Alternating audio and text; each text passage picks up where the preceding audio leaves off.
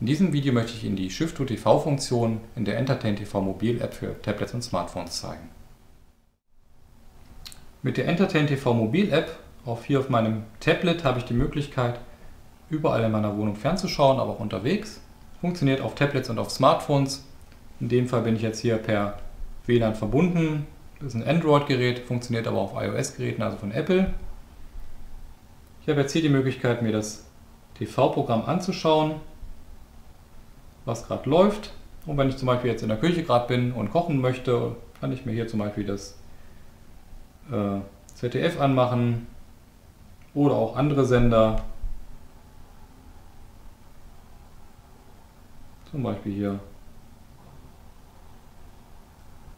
diesen Sender. Und wenn ich jetzt mit dem Kochen fertig bin, habe ich die Möglichkeit mit Shift to TV.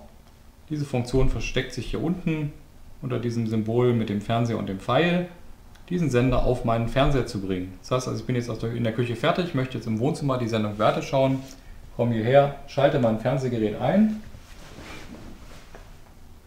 schaltet sich jetzt mit ARD an, der letzte Sender, den ich dort anhatte. Und damit ich jetzt nicht lange suchen muss, welcher Sender das war, sage ich einfach hier Shift to TV und in dem Fall schaltet er dort jetzt auf die Sendung mein Lokal um. Das heißt also, ich kann jetzt hier einfach im Wohnzimmer weiterschauen. Also eine nützliche Funktion der Entertain TV Mobil App.